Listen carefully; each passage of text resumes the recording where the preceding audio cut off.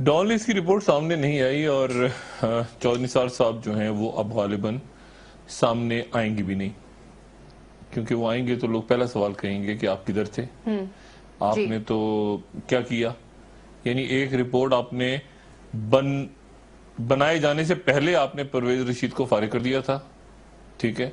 और जब रिपोर्ट तैयार हो गई तो आपने उसको मुतनाज़ बनाने के लिए कहा कि जी इस पे इख्तलाफ है। फिर इत्तेफाक हो गया, क्या हुआ, कैसे हुआ? आपने कहा, पीर मंगल को मैं आ जाऊँगा। फिर पीर मंगल गुजर गया। फिर खबरें आपने लीक करवा दी अखबारों में, हर जगह तारिक फातमी ये, फलाना। फिर उसके बाद मरीम औरंगज़ेब साहबा जलवा फरोज हुई। उन्होंने कहा कि जी हमें तो कुछ पता ही नहीं मैं तो तबसरा नहीं कर सकती। उनसे पूछा कि जी आप तबसरा नहीं कर सकती तो सारा दिन खबरें चलती रही हैं। अच्छा वो मैंने रात को देखा था नहीं मैं नहीं मैं कुछ नहीं कहना चाहती मुझे पता ही नहीं है। तो एक ड्रामा जो है वो पूरा का पूरा ड्रामा रचाने की कोशिश हुई।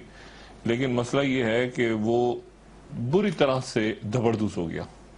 जो। देखें एक बात तय बिल्कुल तय करने के कोई एनआरओ नाम की चीज़ होने नहीं जा रही। चाहे कोई मीडिया का आदमी कोई बंदा कोई शख्स एनआरओ डील ये लफ्ज ना है।